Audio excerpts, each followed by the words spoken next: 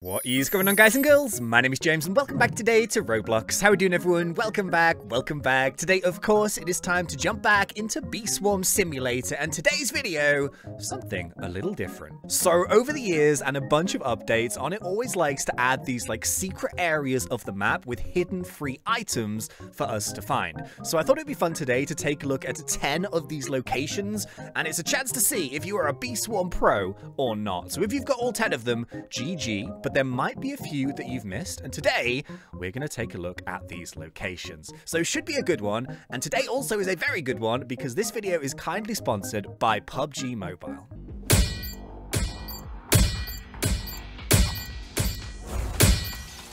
So we have all played Blade Ball here in Roblox before. But now, great news, we can also play it in PUBG Mobile's UGC mode World of Wonder new update. The gameplay is wild, fast-paced and super fun, with all the dodges, ducks, dips, dives, and dodges to test your true skills in ball-based battle. There are a bunch of awesome and competitive new maps to play on, with modes such as 8-player brawl, 6 vs 6, or points-only matches with unlimited revives. When it's time to wind down after a big ranking up sesh, there are also much chiller places to visit, like the Freezing Tower Assault Arena. It's free to play and available on both iOS and Android, and as well as Blade Ball, there is also UGC mode, World of Wonder, Hide and Seek, Parkour, and much, much more.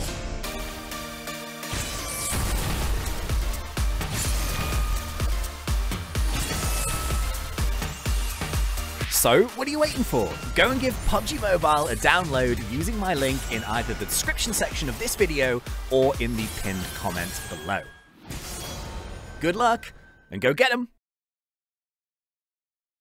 Right, okay, so let's get started here with location number one, and we're going to start off nice and straightforward and easy here in the starter zone, and of course, this is the sort of tent-side maze, which is in the bottom corner here. So this one is a really easy one, there's actually two items in the maze itself, but I'm going to count it as one because they're super close. Now, if we go to the left-hand side, and we follow the maze around, and we follow it around, and we follow it around, and we follow it around, dun dun dun dun dun dun dun, dun we get ourselves a free ticket. And then if we work our way back to the beginning, which is here, and instead of going left, we go right, and we just go around this corner here, we turn left, and there are some free jelly beans. So that's location number one. These were added a long time ago. I think it was pretty much when jelly beans were introduced into the game. However, this is a special location because if we then turn to the right, you can see behind this piece of glass a hidden star jelly.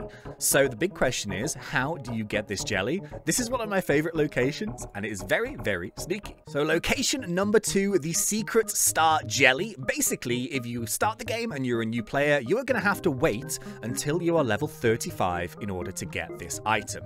So you've got to go here through the 35B gate, you've got to head into the petal shop, and once you're in the middle here, you simply just keep walking, walking, walking, walking, walking, boom, hidden wall, secret location chamber. You've got to go down these steps here, bloop, straight into this sort of swimming pool looking thing, and then you can see you are now on the other side of the glass, boom, you have this secret star uh, jelly location.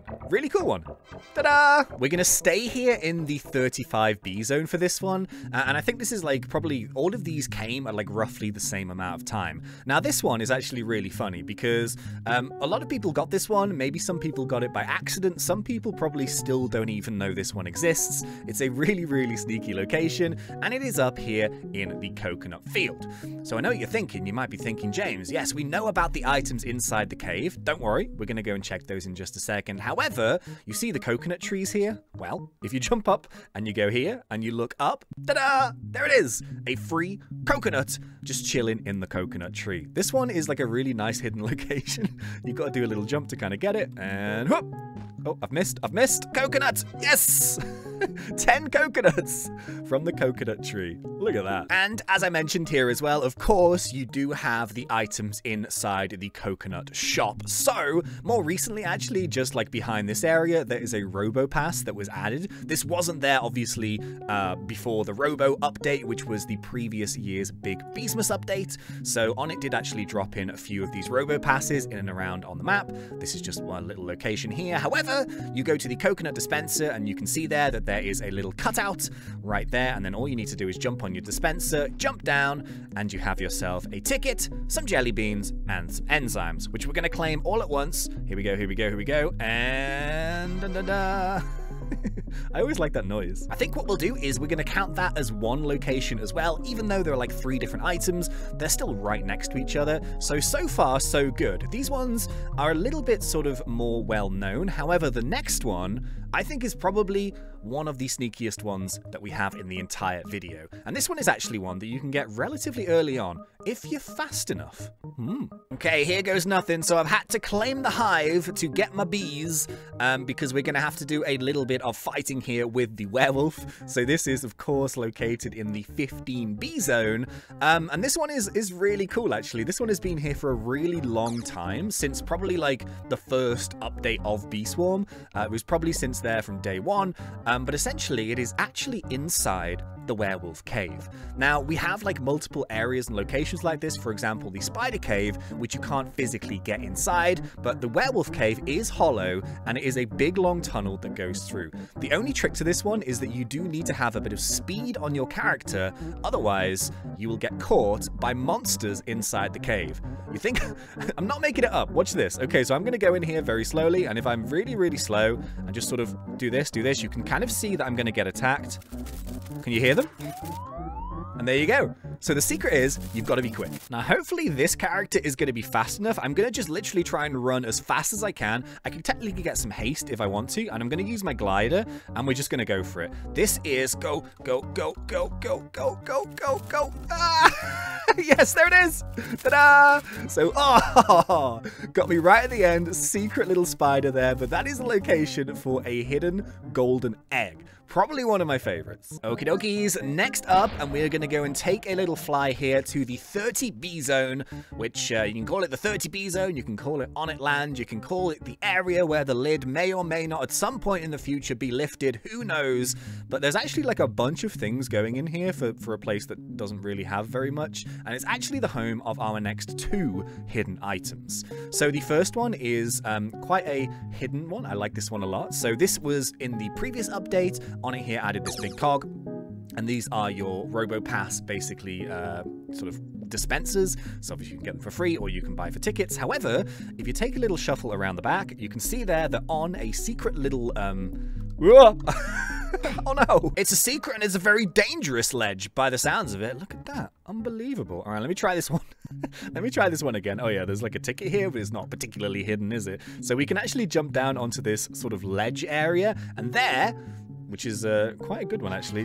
We get ourselves a free broken drive. So just a bit of information about this, just because we're here. You might be a bit confused if you've never got this item before. Essentially, um, this is like the broken drive, which was part of the Beesmas update for 2022-2023. Um, and if I remember correctly, it was like a science bear quest where you had to give him the broken drive to fix it, to then fix and activate Robo Bear for the Robo Challenge. Um, so basically, if you did that in Beesmas, uh, last year, you don't have to bother with this. Your item will still be here. However, uh, this was created and put here for players who didn't do that Beesmas update. So this is the way now that they can activate their own Robo Bear, even when Beesmas update is not currently live. So yeah, that's the location. Very, very cool, actually. Onett thinks about everything, and that's just one way of doing it. However, Seeing as we're here and we're talking about Onett, you can actually see underneath Onett's platform, if I go here right to the edge, there is a dancing black bear.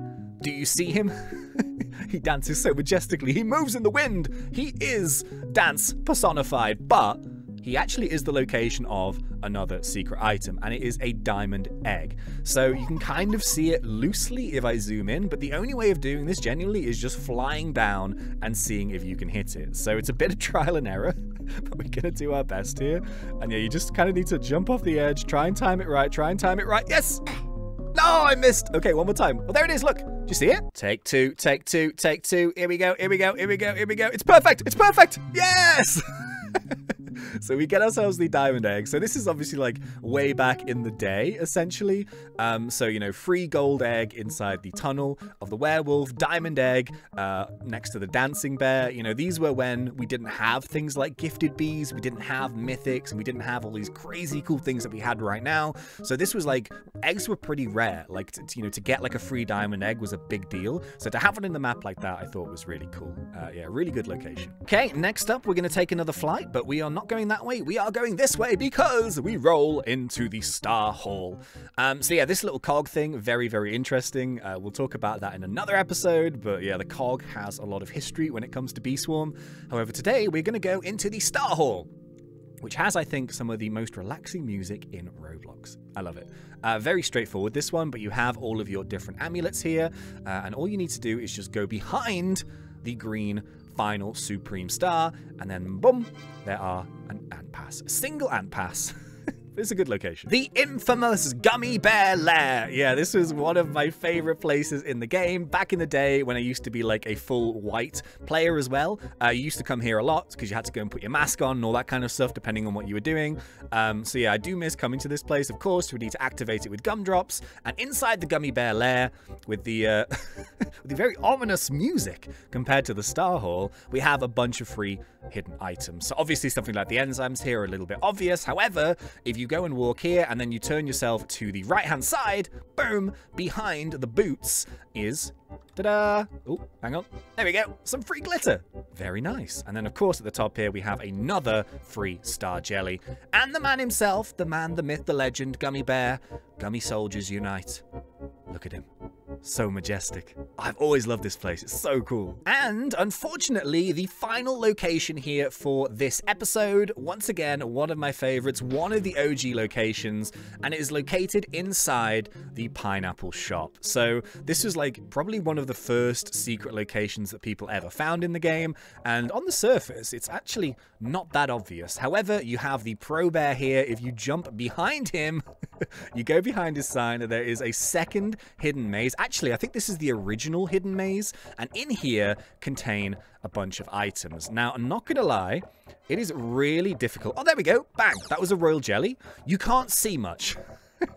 the best way to do it is kind of go top down like this. It is really, really tight in here. So, and there are a few locations that don't actually have anything, but we did get ourselves a royal jelly here. I think this is the final bit. There it is. Boom. 10 sunflower seeds. Would you believe? sunflower seeds and the royal jelly from behind the Pro Bear as a proper OG location. And there we have it. 10 locations that you may not have known, which contain secret free hidden items. Oh, and seeing as it's nighttime, uh, this wasn't actually on my list, but we're gonna do a little bonus one here. So this one is really sneaky, and if you go into the Dapper Bear shop here, you can see that there is the uh, second hidden star jelly in this episode. We saw the first one at the beginning, Well, this is number two. And once again, the uh, the way to get this is is actually quite tricky. So what you've got to do is you've got to come here to the side of the shop, and then you've got to jump on these white little tiles. But instead of going to the roof, you want to try and make it onto this brown bit, like so. Boom.